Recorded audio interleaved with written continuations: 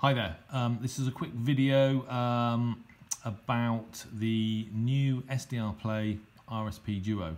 Um, this is the software running on my small travel laptop, um, which is too small really. There's not enough real estate on the screen to do the software justice.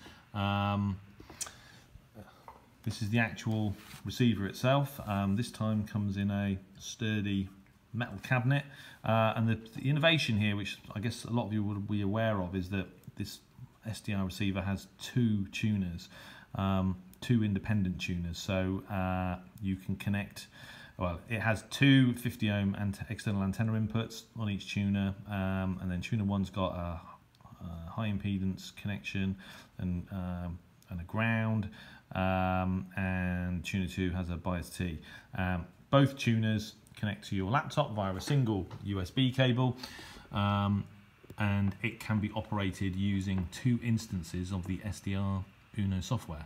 So yesterday I downloaded the latest version, which is version 1.23. I think I had version 1.22, and that gives you the option of the dual mode, which is there. And the software download and installation was seamless, as it always is with SDR Uno.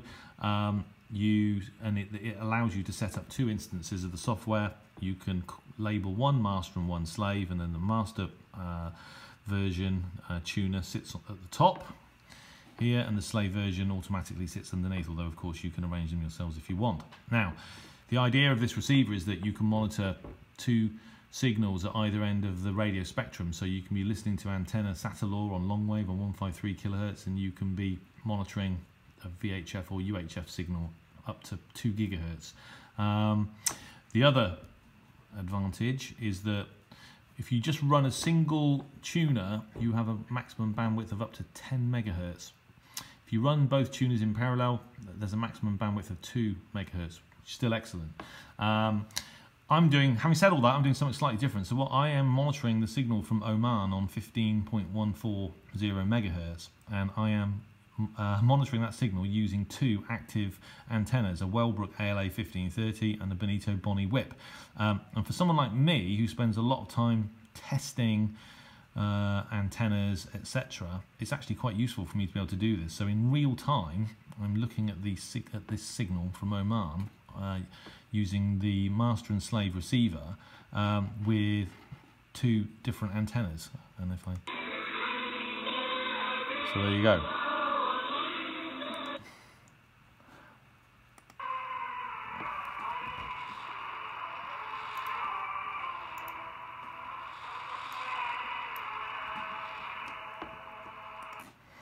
So there you go. So yeah, uh, so for me, that's really useful. Um, but it, of course, it's also useful to be able to monitor basically anywhere on the radio spectrum. Um, and yeah, I mean, I've, you know, from my point of view, I'm going to, I'm going to be very interested to test the um, uh, the RSP Duo. I mean, the RSP 1A is superb um, for the money. You know, price as a function of performance, it doesn't get any better than that. You know, as I've said previously, you know, it's 15% of the cost and 95% of the performance of an ELAD FDM Duo.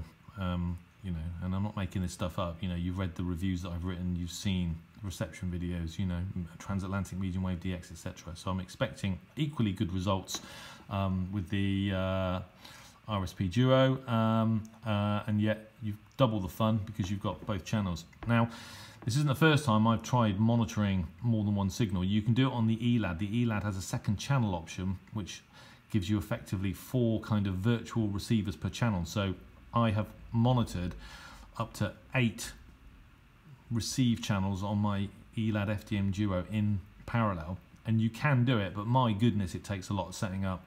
Um, you know, it's uh, it's a it's a pain to, to, to, to set it up, and uh, and you need you know, like I said, you need a very large screen to do that. It's, it's unwieldy, so I don't do it very often. Um, but, you know, being able to, well, to effectively have access to two independent receivers, um, which is effectively what we have here, you know, that you can use uh, to monitor signals that are extremely spatially separated by frequency, um, you know, I think it's a superb concept. Uh, and I'm looking forward to, um, to testing it. uh, and you know spending some time tuning around the bands. It's a shame that the sort of the North American uh, medium wave DX season's over. Um, but no doubt I'll have a lot of fun on shortwave, and I'm going to have to um, test this receiver up beyond HF into VHF. Um, so I shall uh, have a go at that as well. But um, so there you go. Um, like I said, this screen on my small travel laptop is nowhere near big enough to do the software justice. Um, but uh, I shall set this up at home on another computer with a large screen and uh, and take it from there. Um, I think that's about it. I mean, there are videos already appearing on the internet that take you through from uh, clicking the play button and setting it all up, and you know, there's no point me doing that because it, that information already exists. Um, I think my next videos will probably be reception videos, but if I come across any nuances with software or any particular settings that I think are going to aid DX, then uh, of course I'll share them with you. Um, but for the time being, I think uh, that, you know what I've given you is a kind of an overview of uh, this product. So um, anyway, I hope you enjoyed it. Uh, more to come. Thanks for watching.